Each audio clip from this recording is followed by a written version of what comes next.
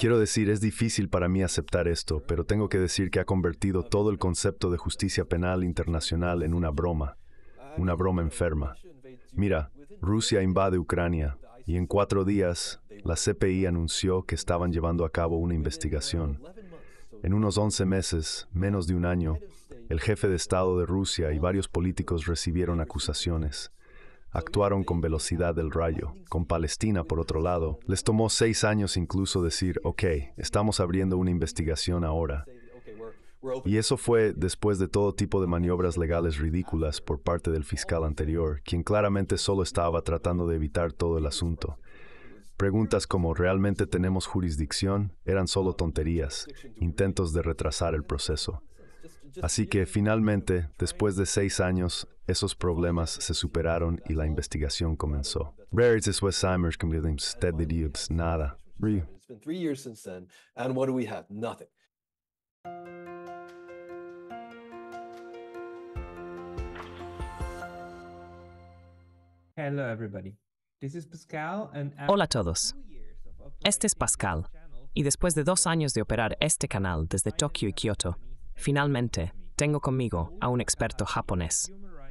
Saul Takahashi es un abogado de derechos humanos que trabajó durante cinco años en Occupy Palestina, en la ciudad de Ramallah, en Cisjordania, donde se desempeñó como la oficina del Alto Comisionado de las Naciones Unidas para los Derechos Humanos. Saul obtuvo su maestría en Derecho Internacional de Derechos Humanos de la Universidad de Essex y luego trabajó en varios puestos alrededor del mundo. Hoy, Saul es profesor en la Universidad Chogakuin, con sede en Osaka. Recientemente, Saul publicó un artículo contundente en Al Jazeera titulado Gaza será la tumba del orden mundial liderado por Occidente, en el que discute a fondo los dobles estándares e hipocresía del sistema internacional actual, que incluye el derecho internacional. Esto es lo que queremos discutir hoy. Así que gracias, Saul, por conectarte en línea. Muchas gracias por recibirme. Es genial estar aquí, como todos dicen. Gracias por eso. Um, en el artículo que escribiste, mencionaste lo siguiente sobre el caso de la Sei Hoka. Lo publicaste justo antes de que saliera el veredicto. Dijiste que la Sei Hoka podría ser recordada de dos maneras. Podría verse como el primer paso hacia finalmente responsabilizar a un Estado rebelde por violaciones repetidas y prolongadas del derecho internacional. Alternativamente, podría ser visto como el último suspiro moribundo de un sistema internacional liderado por Occidente y disfuncional. Ahora, el fallo salió hace cinco días. ¿Cuál es tu veredicto?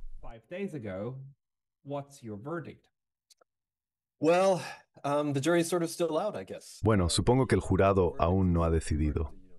El veredicto en sí, o más bien la decisión sobre las medidas provisionales, no es del todo malo, pero ciertamente no es suficiente. En mi mente y en la opinión de muchos palestinos con los que he estado en contacto, así como aquellos entrevistados en Al Jazeera y otros medios, es claro. Cuando digo que no todo es malo, quiero decir que representa una derrota para Israel en muchos aspectos. Los argumentos israelíes fueron descartados, y con razón, eran ridículos. Honestamente, no creo que la delegación israelí o sus abogados pensaran que ganarían los argumentos. Parecía mucho un ejercicio de relaciones públicas por su parte, pasando por los movimientos para poder afirmar que hicieron todo lo posible y argumentar que la CIJ está sesgada contra ellos y es una organización antisemita. Estos argumentos fueron dados de lado rápidamente. Como muchos comentaristas ya han dicho, la CIJ dictaminó que hay al menos un caso plausible de que Israel está cometiendo genocidio o está en peligro de cometer genocidio. Las medidas provisionales están justificadas y el caso no debe ser desestimado. La CIJOCA va a examinar los méritos del caso.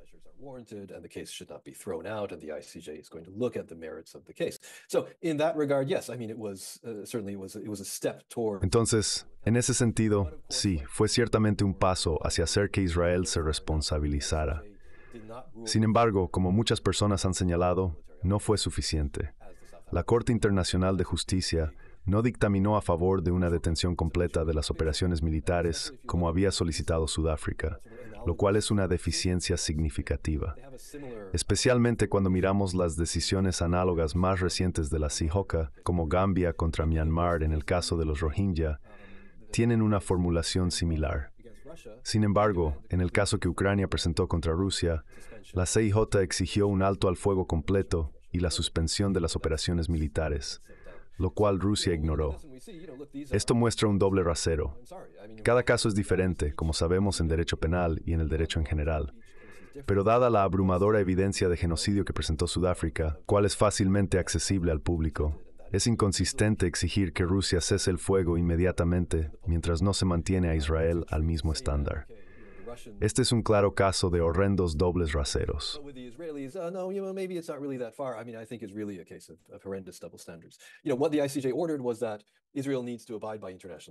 La CIJ ordenó que Israel debe cumplir con el derecho internacional. Vamos a pedirles que presenten un informe en un mes para decirnos cómo han cumplido con el derecho internacional. El problema es que parece haber una suposición de que Israel, como país, tiene buenas intenciones y está inclinado a acatar el derecho internacional. Sin embargo, no hay ninguna instancia en la que realmente lo haya hecho. Israel ha violado constantemente el derecho internacional. Ver la situación actual aislada de su contexto histórico es negligente. Estoy decepcionado por ello. Podría haber sido peor, pero no es suficiente. Israel anunció inmediatamente que ignorarían cualquier fallo con el que no estuvieran de acuerdo, lo cual no fue sorprendente. A las pocas horas de la decisión de la CIJOCA, la violencia continuó. Comenzaron invadiendo otro hospital, creo que fue en Khan Yunis. La violencia nunca se detuvo.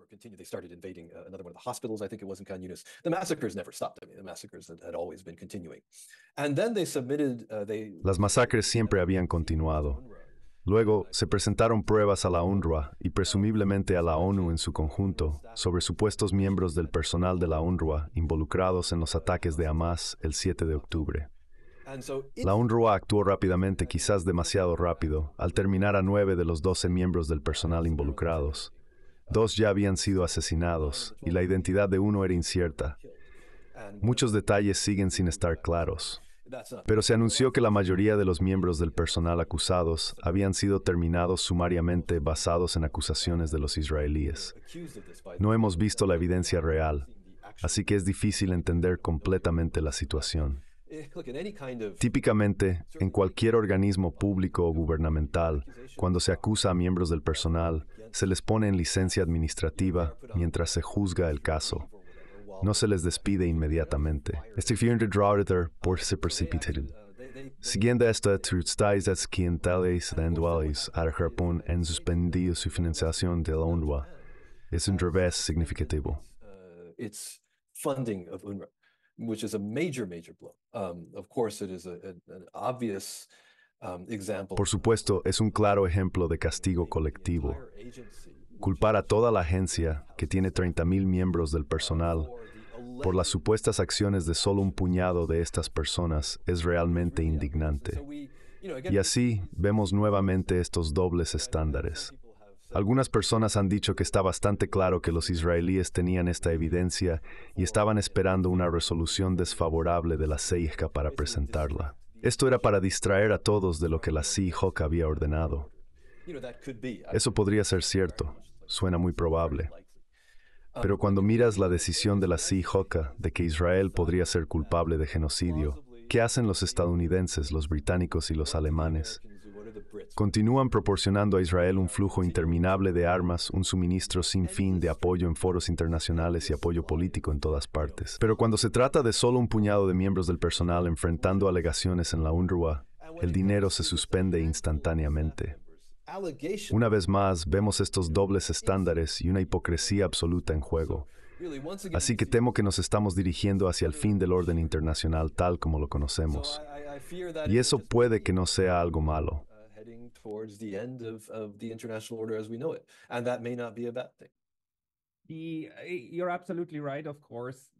Tienes toda la razón, por supuesto.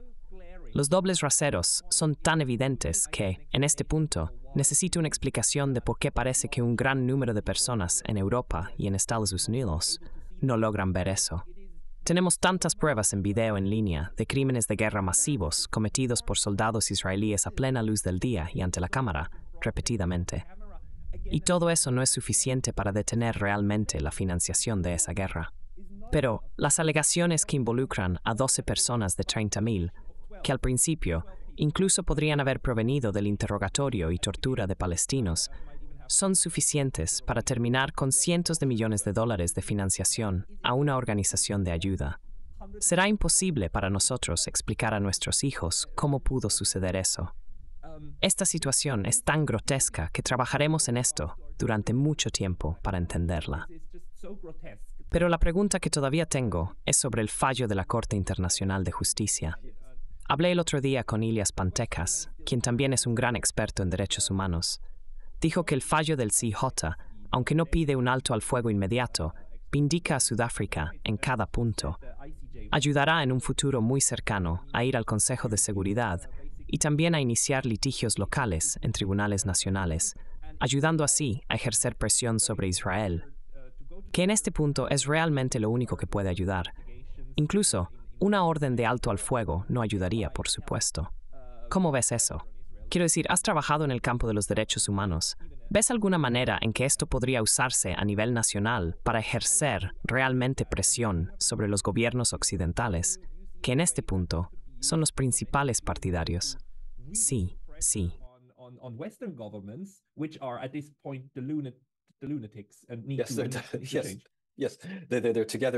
Sí, están juntos en toda esta operación lunática. Estoy completamente de acuerdo. También estoy de acuerdo con tu invitado anterior. Ahora, es un arma que puede y debe ser utilizada por nosotros los ciudadanos. Creo que la disonancia que mencionaste sobre cómo la gente normal en la calle está mirando lo que está sucediendo y aparentemente aceptándolo no es del todo cierta. La mayoría de las personas, o al menos un segmento muy significativo de la población en la mayoría de nuestros países, no lo acepta. Ven a través de las mentiras y entienden lo que está sucediendo. Hemos visto manifestaciones y un derramamiento de apoyo popular a la causa palestina. Estas manifestaciones continúan en muchos de nuestros países, a pesar de los mejores esfuerzos de muchos gobiernos por suprimirlas, incluyendo la prohibición de cánticos como Del río al mar y la prohibirse the light of Palestina. Uh, from the river to the sea and, and, and prohibit the Palestinian flag and all this kind of thing. You know, these, these kind of demonstrations and, and, and showings of Este tipo de manifestaciones y muestras de apoyo popular siguen ocurriendo. Por lo tanto, la decisión de la Seahawk definitivamente será una herramienta en manos de estos activistas y de nosotros como ciudadanos en general.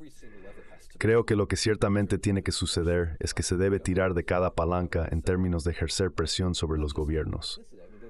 Los gobiernos no solo son cómplices, están ayudando e instigando un genocidio al proporcionar a Israel tanto apoyo material como político. Y también las grandes corporaciones, como los principales comerciantes de armas, continúan brindando este tipo de apoyo a los israelíes con total alegría. Otras grandes corporaciones siguen haciendo negocios con Israel. Es el movimiento de boicot, desinversión y sanciones el que realmente ha marcado la diferencia.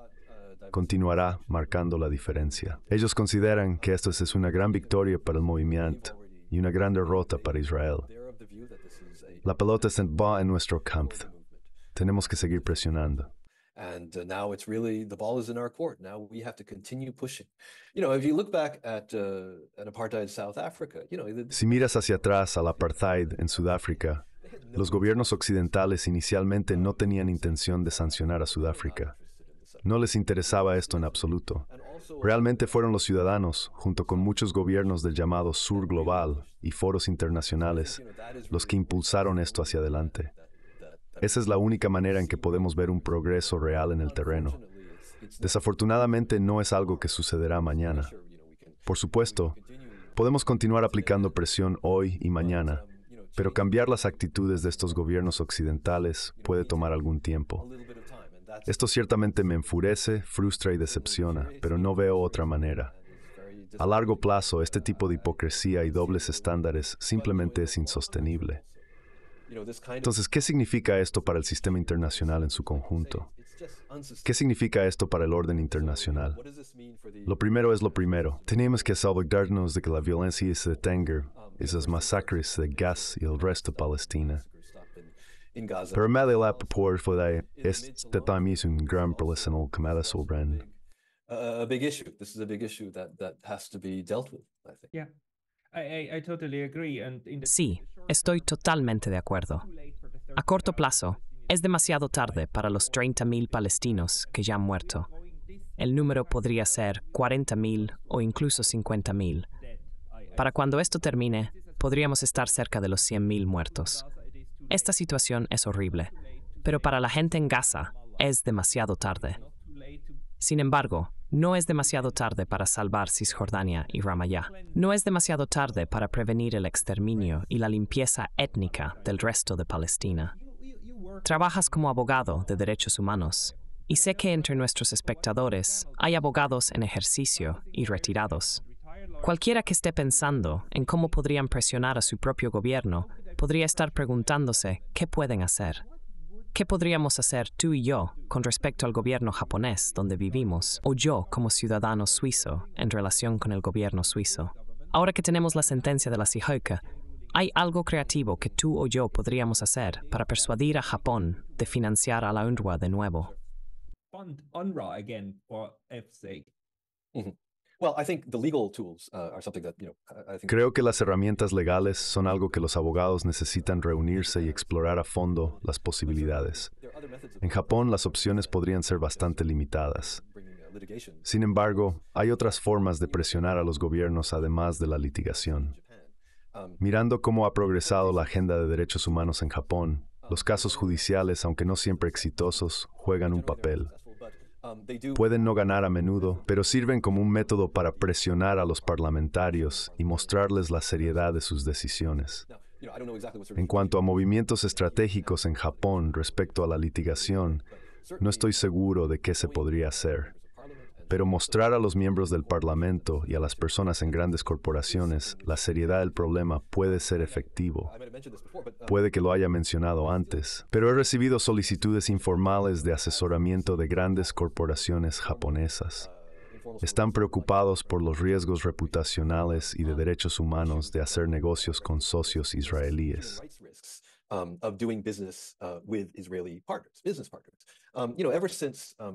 Uh, Desde el segundo gobierno de Abe, ha habido un impulso significativo dentro del gobierno para alentar a las corporaciones a hacer tratos con empresas israelíes. Esto se debió en parte a que los políticos ultraconservadores veían a Israel como una manera de mejorar las relaciones e incrementar la cooperación con Estados Unidos. Sin embargo, Japón ya tenía relaciones fuertes con Estados Unidos, por lo que esto podría haber sido menos un factor. El objetivo principal parecía ser alinearse con los aliados americanos en Asia Occidental y Medio Oriente. De esta manera, si Estados Unidos decidiera enviar tropas e iniciar un conflicto, Japón podría colaborar con ellos, conociendo a la gente en el terreno y asegurando una parte de los recursos.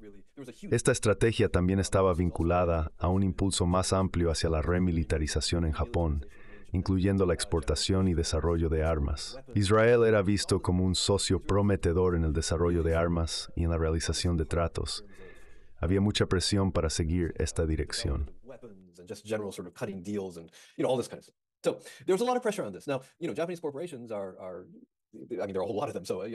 Las corporaciones japonesas generalmente son conscientes de los riesgos reputacionales asociados con hacer negocios con empresas israelíes. Esta preocupación surge de las posibles acusaciones de ser cómplices en el asentamiento ilegal y la colonización de Palestina. Recibí llamadas de grandes corporaciones explicando su situación. Estaban bajo presión del gobierno para participar en negocios con empresas israelíes, independientemente de las circunstancias. Estas corporaciones estaban particularmente preocupadas por evitar la implicación con empresas vinculadas al proceso de colonización y asentamientos ilegales. Sus preocupaciones eran menos sobre los riesgos de derechos humanos y más sobre evitar acusaciones de ONGs y otros problemas. Me preguntaron si podía recomendar una empresa israelí que no estuviera involucrada en estas actividades controvertidas.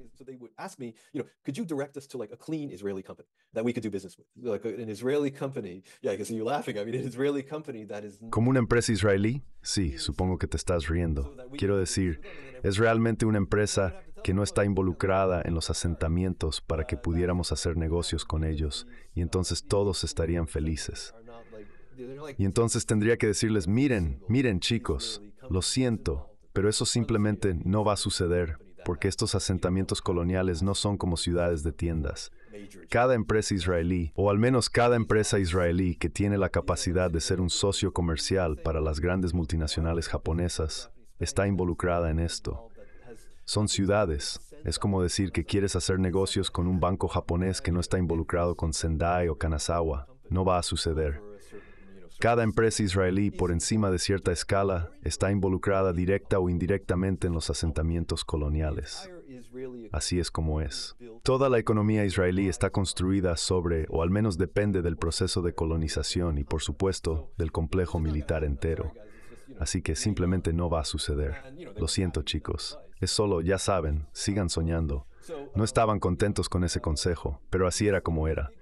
Entonces estas grandes corporaciones son cautelosas respecto a esto, son conscientes, y el movimiento BDS en Japón ha tenido éxitos. Como recuerdo, Muihouse Praise en abrir tiendas en Tobrelv y comenzar bread tiendas. Esto fue antes años.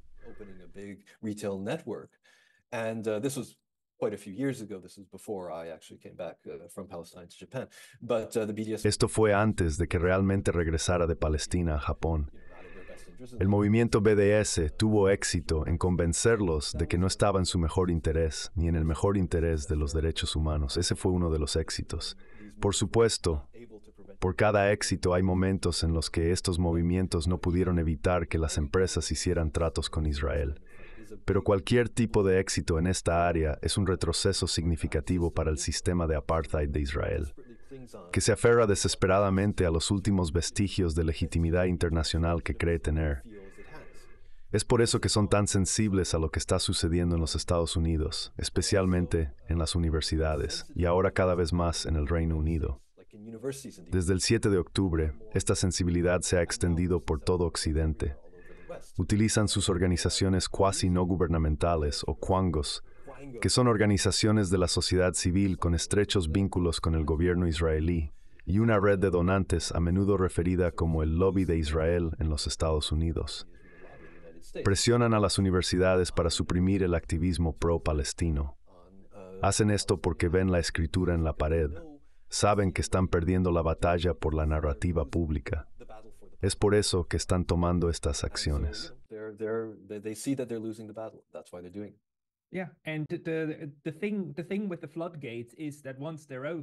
Sí. Y lo que pasa con las compuertas es que una vez que están abiertas, son realmente difíciles de cerrar. Los israelíes, de hecho, entienden eso. La presión que puede venir de la sociedad civil es significativa. El acto definitivo sería si esa presión se convierte de repente en acción estatal. Sabemos por el ejemplo de Sudáfrica que necesitas a los gobiernos de los grandes estados, los actores principales, a bordo para ejercer una verdadera presión estatal. Eso es lo único que puede provocar un cambio. Pero la forma de construir hacia eso es a través de la participación y el trabajo dentro de la sociedad civil. Ahora, ¿crees que en el sistema actual, incluyendo el sistema de derechos humanos y el derecho internacional, tal como lo tenemos, hay formas adicionales de efectuar cambios que no dependan únicamente de la sociedad civil, sino de otros caminos también. Por ejemplo, la Corte Internacional de Justicia me mostró que todavía hay potencial en este sistema. Sin embargo, también es importante reconocer que todo el marco legal de los derechos humanos tiene solo unos 80 años de antigüedad, habiendo surgido después de la Segunda Guerra Mundial. No lo teníamos antes. Y en este sentido, todavía es relativamente débil en comparación con otras partes del derecho internacional. Hemos visto intentos de construir sistemas de cortes, tanto ad hoc como permanentes. La Corte Penal Internacional, CPI, que es separada de la CJ, sería otro camino. Sin embargo, parece estar completamente infiltrada políticamente y bajo control político, en lugar de ser un órgano independiente. ¿Cuáles son tus pensamientos sobre la CPI y otras posibles vías legales para el derecho internacional? the other potential legal legal avenues for international law. Well, like you say, the ICC is, seems completely hopeless, and that's. Uh, Como dijiste, la CPI parece completamente desesperanzada, lo cual es difícil de aceptar, especialmente para alguien que es abogado internacional o abogado de derechos humanos internacionales. um, uh, Comencé mi carrera con Amnistía Internacional en los 90. Recuerdo haber asistido a la Conferencia Mundial sobre Derechos Humanos de la ONU en Viena. Uno de los principales objetivos de cabildeo de Amnistía Internacional era la creación de la CPI, un tribunal internacional permanente para juzgar crímenes contra la humanidad, genocidio y crímenes de guerra. Fue un momento significativo para el movimiento de derechos humanos cuando se estableció la CPI.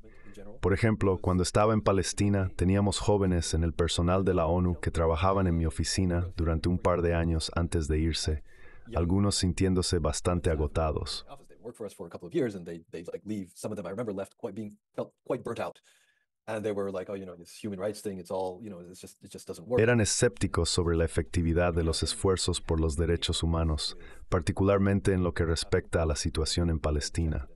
Se sentían abatidos y yo me encontré intentando levantarles el ánimo. No pretendía ser heroico, solo quería ofrecer ánimo. Cuando estuve en Viena en la Conferencia Mundial sobre Derechos Humanos abogando por un tribunal internacional permanente, dudaba de su viabilidad. Parecía un sueño irrealizable. Sin embargo, logramos establecer la Corte Penal Internacional en 2002. Inicialmente, la CPI solo acusó a individuos de África, lo que llevó a un cinismo generalizado.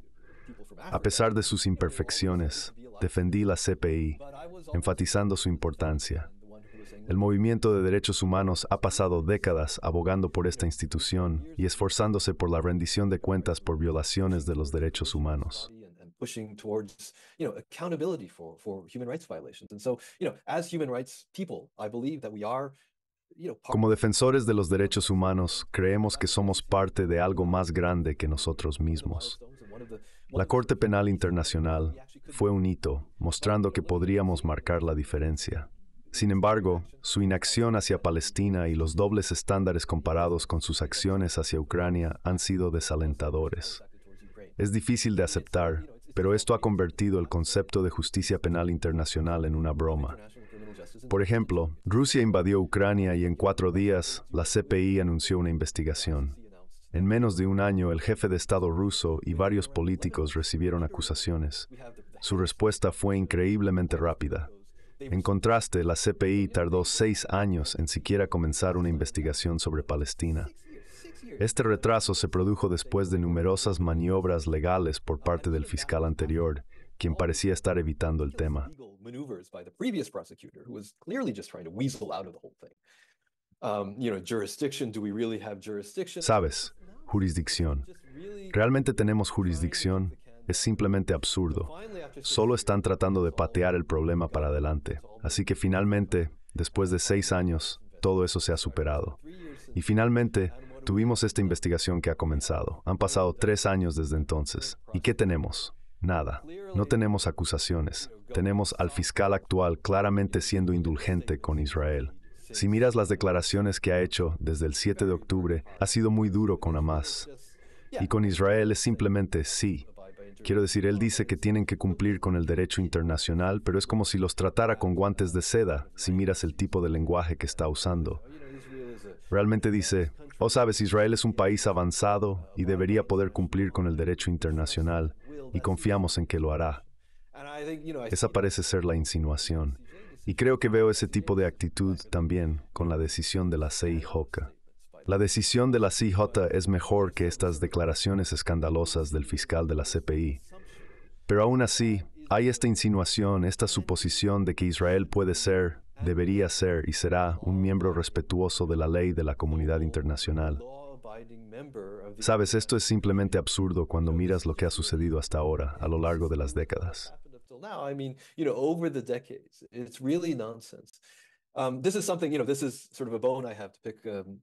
Esto es algo con lo que tengo un problema, no solo con el derecho internacional, sino con el derecho en general. Tendemos a separar incidentes o casos específicos del contexto más amplio. Como abogados, estamos entrenados para enfocarnos en los detalles, casi olvidando la imagen completa. Esta es una deficiencia significativa del derecho internacional, especialmente en cómo ha tratado el caso de Palestina. Preguntaste sobre otros mecanismos además de la Corte Penal Internacional. Hay varios, incluido el Consejo de Seguridad. Sin embargo, hablar del Consejo de Seguridad podría hacernos reír porque es el único órgano de la ONU que puede tomar acciones de cumplimiento obligatorio y vinculante. Luego, están los órganos de tratados de la ONU, el Consejo de Derechos Humanos y la Asamblea General. Estos pueden adoptar resoluciones que a menudo son ignoradas por Israel y los Estados Unidos. También pueden crear misiones de investigación y penhila y de investigación, con los cuales Israel puede negar y cooperar. Missions and, and, panels of investigation which can be refused cooperation with by Israel. Um, you know, so there are those kind of bodies, but really... It, it... Sabe, existen ese tipo de organismos. Pero realmente volvemos al Consejo de Seguridad. ¿Qué va a pasar con eso? Aquí es donde necesitamos presionar a los gobiernos poderosos que respaldan a Israel, particularmente a Estados Unidos. Estados Unidos es clave en esta situación. Estados Unidos tiene que cambiar, y creo que lo hará. Soy muy optimista al respecto. Sin embargo, es difícil mantenerse optimista y alegre cuando vemos las masacres de civiles inocentes en Gaza día tras día. Es muy difícil. Pero la escritura está en la pared en Estados Unidos. La opinión pública en Estados Unidos puede cambiar de manera muy dramática. Puede pasar de un extremo al otro de repente. Sociólogos y antropólogos han estado diciendo que esto venía desde hace 20 o 30 años, y probablemente tengan razón. Pero add your stories and certain slay murder mote. Se su idea en store into time to war. Eso espero. Y tienen razón después del hecho. Sí, exactamente. Tienen razón después del hecho. Es como mirar lo que pasó con el muro de Berlín. Podrías decir, oh, bueno, vimos venir esto, pero la verdad es que nadie lo vio venir. Sin embargo, estas cosas suceden. Además, Pearl Harbor y otros momentos significativos marcan las épocas en las que ocurren grandes cambios. La idea completa es que no los prevés. Sin embargo, me gustaría añadir que Israel ha afirmado constantemente que se adhiere al derecho internacional, al derecho humanitario y al derecho de los derechos humanos. También afirma tener el ejército más moral del mundo. Lo hemos escuchado tantas veces. Es como ya sabes, sigue disparando a personas inocentes mientras afirma que nunca lo haría. Esa es la locura. Entonces, es realmente fácil para ellos cumplir verbalmente con lo que dijo la Sihoka, porque pueden afirmar, siempre hemos dicho que nos adherimos a ello. Exactamente, ese es el punto.